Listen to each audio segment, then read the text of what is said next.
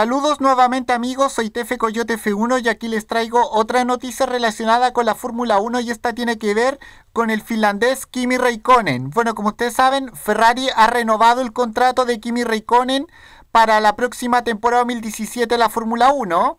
Eh, el equipo lo ha hecho oficial, lo ha hecho oficial en los Libres 1 del pasado Gran Premio de Gran Bretaña y de esta manera se rompen los rumores que lo situaban fuera de la Fórmula 1 para la próxima temporada.